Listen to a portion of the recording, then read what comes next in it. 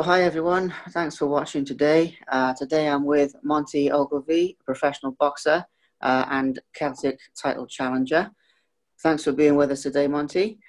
Uh, coolest name, in, coolest name in boxing, by the way. I like that. That's got to be, uh, yeah, that's that's got to be one of the coolest names I've I've heard in in boxing. It's, it's a unique one. My dad, um, my dad's called John, and decided that uh, he wanted me to have an interesting name, so he called me Montgomery. Monty for short for Monty. Yeah, I like that. But you know, it makes you makes you stand out in the ring, doesn't it? I mean, it's, it's a good name. It's a memorable name. Um, um, sorry, sorry, I forgot. It's good for uh, walkout music. good for walking music. Always walk out. Um, Tom Jones, you can leave your hat on, like film like. Yeah. yeah. Okay. So, it's a great song. That's a good. That's a good choice. You know, something a bit different. Um, I like that actually because you often hear people walk out to the same type of thing, you know. So it's it's nice when you know when like when I'm at fights and somebody walks up to something um something a bit different. Yeah. So let's start at the beginning. I mean, you, you know, you and and boxing. Um, I mean, how did you first get into boxing? How did the journey begin for you in the sport? Um, I grew up in a wee town in the middle of nowhere called um, so it's right in the middle of nowhere, but um, quite a small high school, but um, really far back when I was in primary school, I really struggled with everything. Um, I really, really struggled. Um, I was just slow at school, slow at learning, and I wasn't very good physically. I couldn't play football. I was always putting goals playing football with my mates because I was useless. Um, and I think that kind of stuck with me. You know, I remember, sad as it sounds, I remember, um, I remember my parents going to a parents' evening for the school, and I was there, and there was all the pictures on the wall everyone had done in art class, but mine wasn't on the wall because it wasn't very good. So that kind of thing stuck to me and stuck with me and on. Um, always liked, always liked fighting. I liked Bruce Lee. I liked all the martial arts movies when I was a child, but um, went up to high school and I kind of, you know, that age, 13, 14, I got in a lot of trouble. Not a lot of trouble, but I was fighting quite a lot, lot of, fighting a lot of the bigger boys. I'm quite small. Um, and my mum had a friend whose son boxed, um, Mark, still know him very well. And uh, he took me along to the boxing club. He stopped going, and I just kept going and loved it right away. So. Okay, so that's how it started, and I know that um, you know your your amateur career was obviously, you know, was a bit sort of touch and go. I mean, um, could you sort of tell us a little bit more about your amateur career? Well, let's say I, I, I loved boxing right away, and I was only in the I was only in the gym two well properly. I was in and out like in a gym, and then I, I probably started going to a boxing club. And I was only at the boxing club two months, and I got put forward for a bout, and I actually won my first bout as an amateur. I won it at a box beat a boy twelve years ago, um, David Johnson his name was. Um, but then after that, I lost. I lost 10, 10 of my next uh, twelve bouts. Lost ten of my next twelve, and um, and well, I kept training and and you know I got a bit disheartened and everything everything that was going on. It was quite it was quite hard, you know. Um, losing on in fights, but I loved it. I was so passionate about the sport. I stuck out and I kept training. And around that time, actually, I went off to university when I was 19 and I hadn't boxed for two years, but I was still training, but I hadn't boxed. And uh, I decided I'll have another crack at this, and just for the fun of it, really.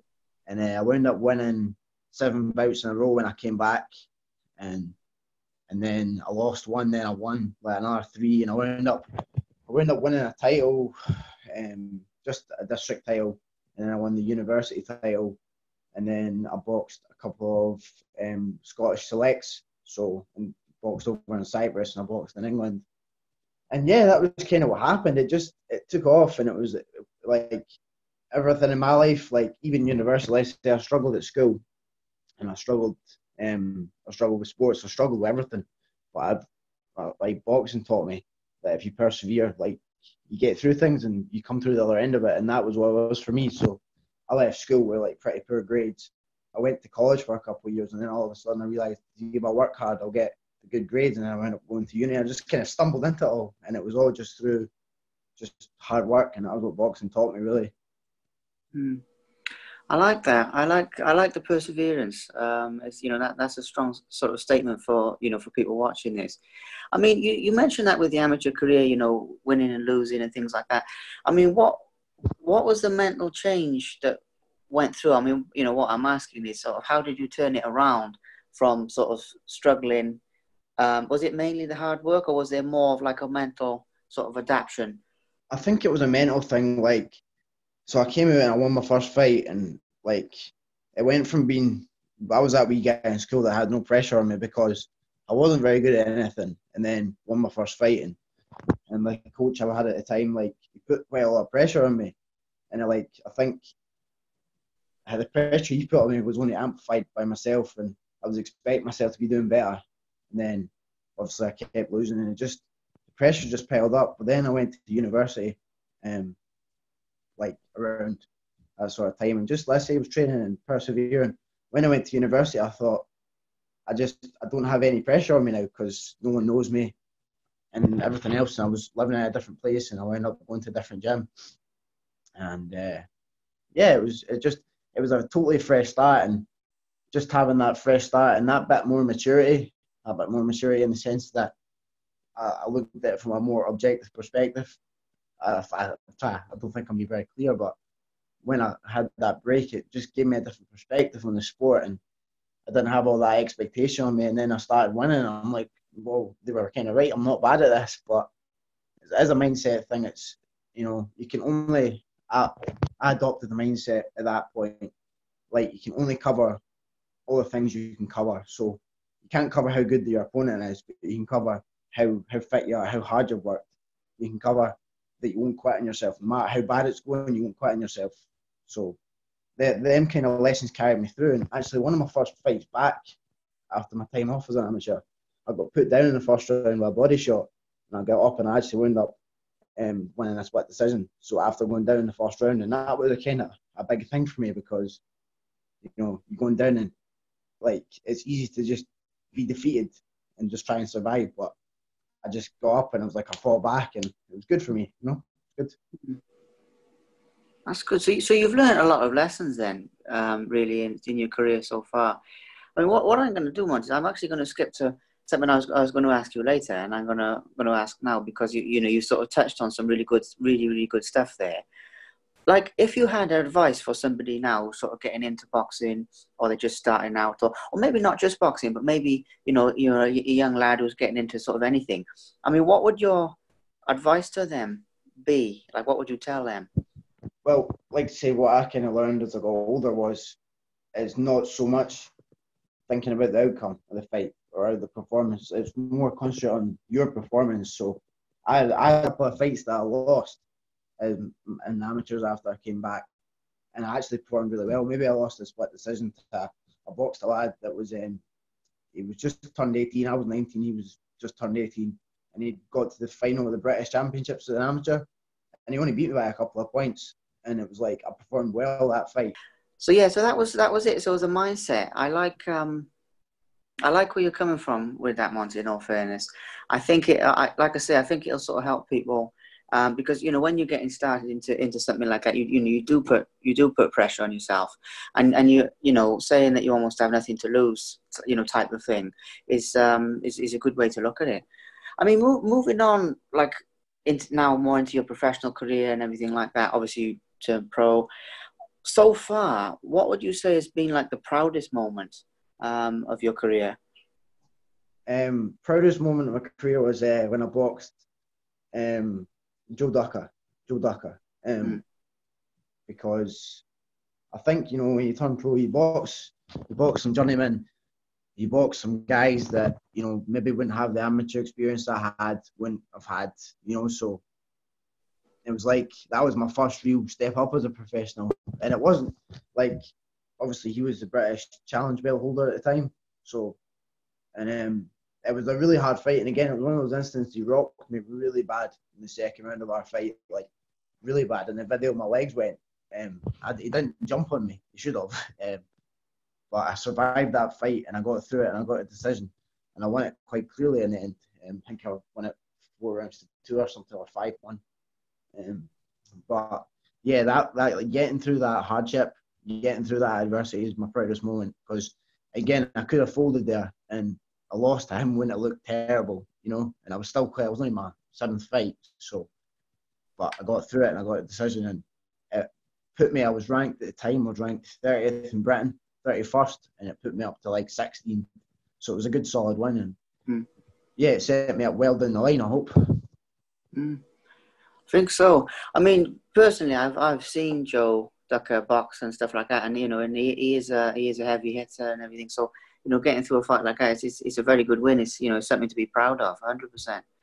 So I mean, with this, we, we, you know, you've touched on the mental side of preparing for fights, and I, am going to go. I'm, you know, we've touched on that, so I'm going to go back there. I mean, with this, how do you mentally prepare now? I mean, do you feel, say, the same type of pressure you felt when you were an amateur, or do you feel different about it now that you've sort of had some tougher fights, you've gained confidence and everything? I think this is going to sound really weird, but obviously my last bout I boxed Nathaniel Collins for the Celtic title, and it didn't go my way. Um, my preparation went very well, but on the night, you know, kind of I think I kind of defeated myself, made it a little bit easier for him, and I was really feeling the pressure at that point um, around the time I boxed Nathaniel. That's my partner, and it was like I I was so close to touching like I, when I turned pro. I only really turned pro. I turned pro because of a tragedy that happened at my amateur boxing club. We had pros. Mike Towell used to share the same gym as me. Remember Mike Towell passed away a few years. I remember.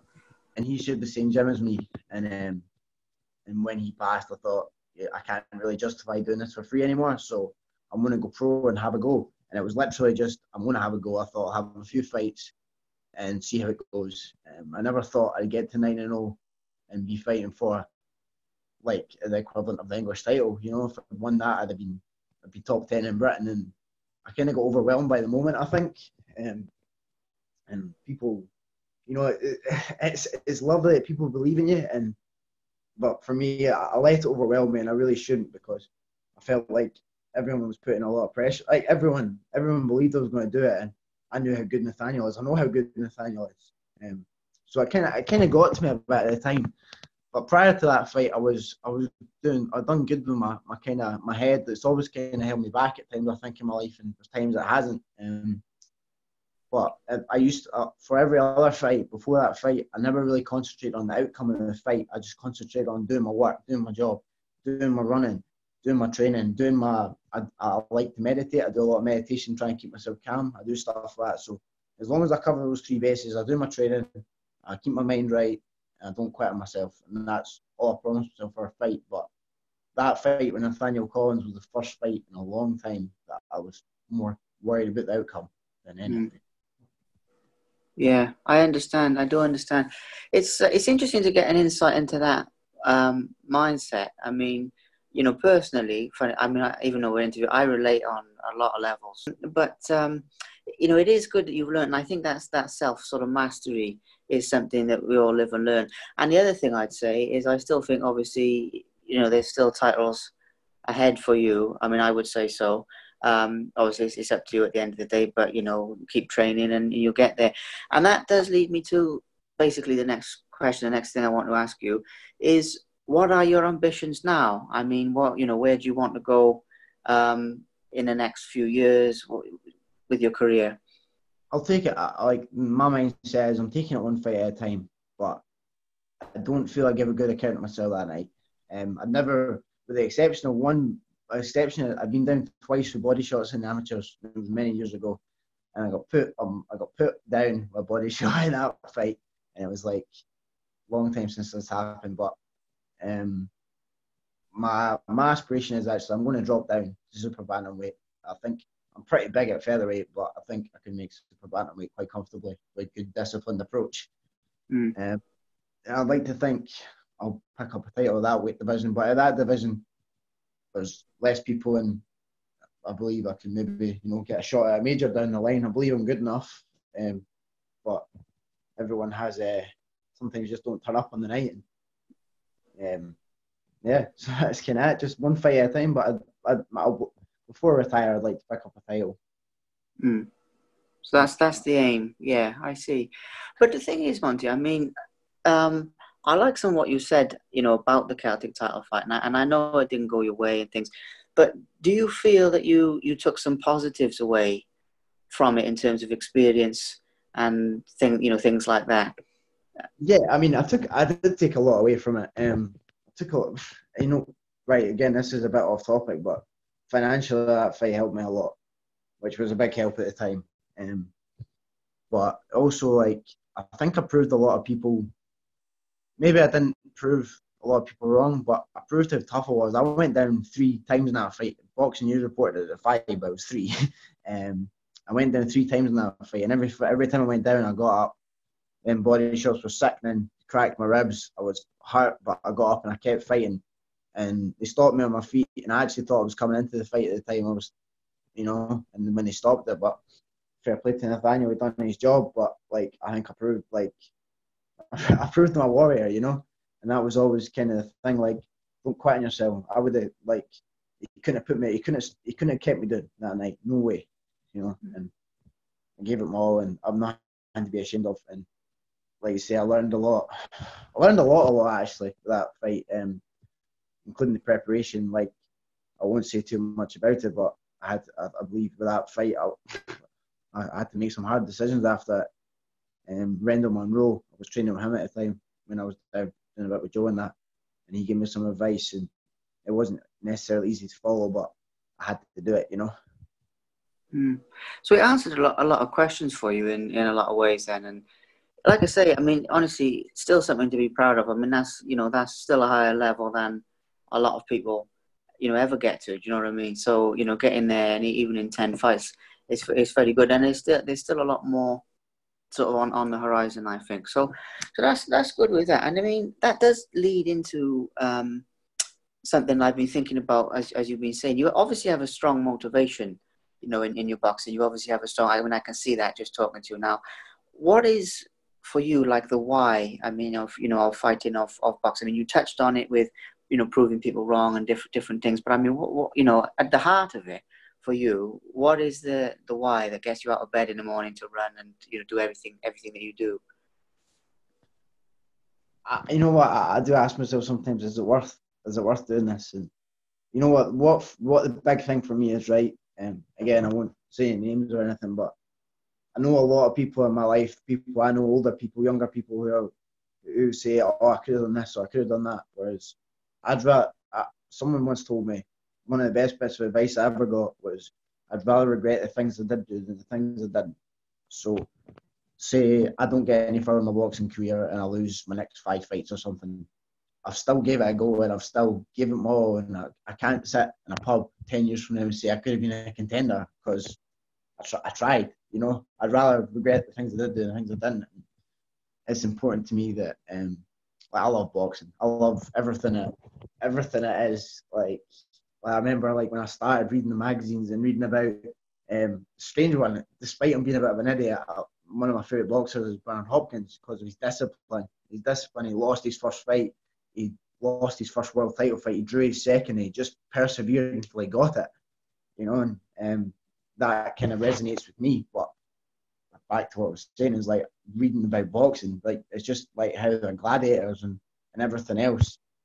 Um, and I just I feel for me it's a big honor to be like even doing an interview with yourself. Like I feel like I feel like huge honor that people want to people are interested in in what I've got to say and interested in my career and you know people buy like loads of people buy tickets to come and watch your fight it's an insane sense of flattery and I think I it to myself but also I want to people to, to put my all into it and, and that's it I guess. I went a bit long-winded a bit off topic but that's generally how I feel about it I think I think.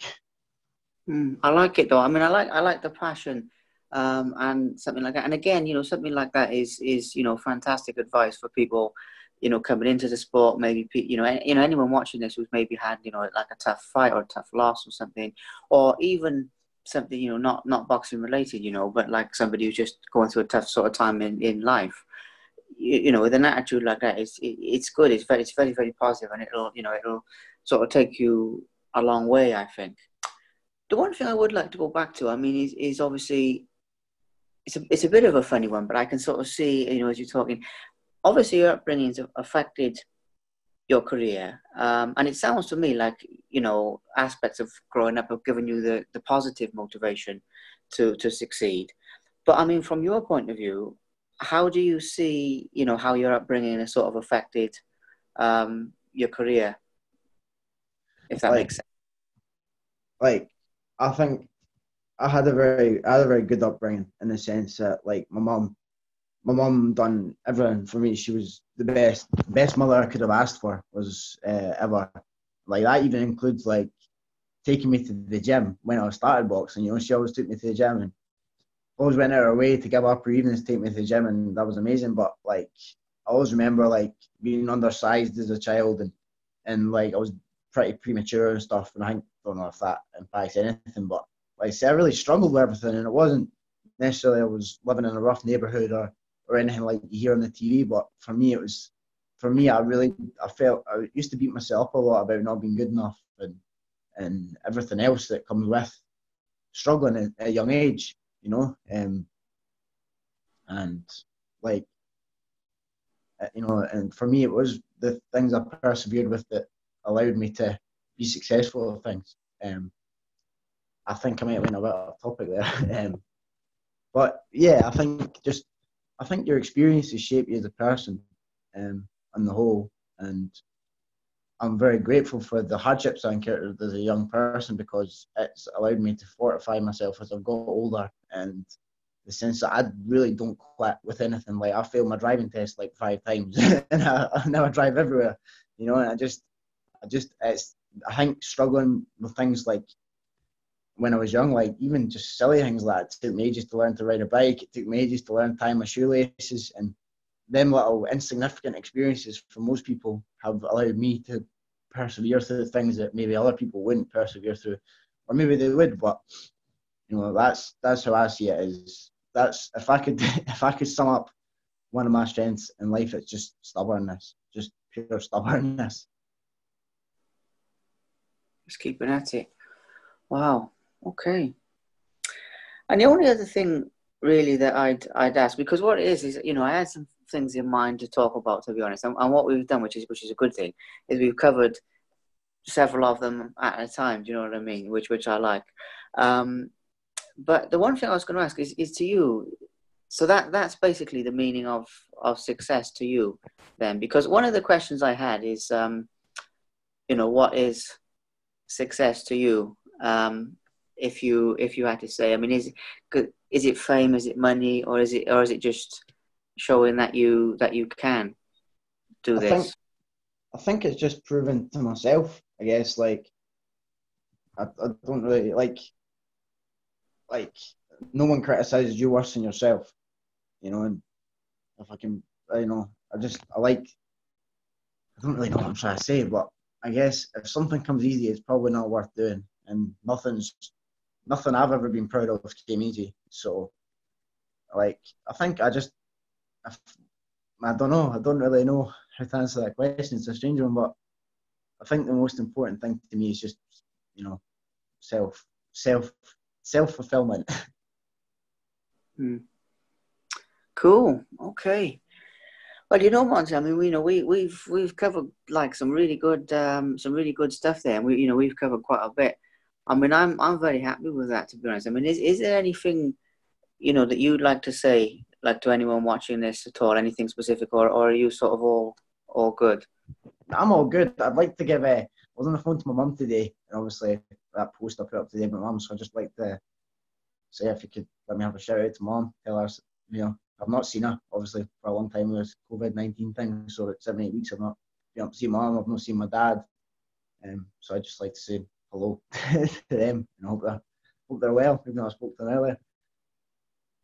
That's good. I, I, like I've done I've done quite a few interviews and I think this is the first one I've not really made a mess of in a sense. Um, so yeah, no, I, I enjoy doing them. It's a bit nerve wracking at times, but I, enjoy. I like. I was thinking if, if you do one person can take something positive from what I've got to say, it's worthwhile saying. You know, you know, I like to think I've done all right. Like sometimes I have to pinch myself because I used to when I lost those fights, I used to dream about being a pro boxer, and I used to dream about you know all this. And I could never imagine it. I was getting beat all the time, and and to be where I am, that's what I'm saying. It's like an insane sense of flattery that guys like yourself want to interview me. And it's something I just have to pinch myself because I can't believe, like, even though it's been hard at times, I'm still living my dream, really. Um, so, like, saying every every fight's a gift, you know, I guess. Well, on that note, Monty, I mean that's you know that's fantastic. Um, I I appreciate you taking the time to um, you know do this interview today with us. Um, I do appreciate that a lot. I mean, I'm like I said, I'm sure it'll help people who who are listening. I mean, you know, we're all going through tough times at the moment in different ways and, and everything. Uh, and you've put some you know some really good stuff across there. So so thank you very much. Thanks for having me. I appreciate it. Mm. Appreciate it. Thank you very much. Pleasure's on me.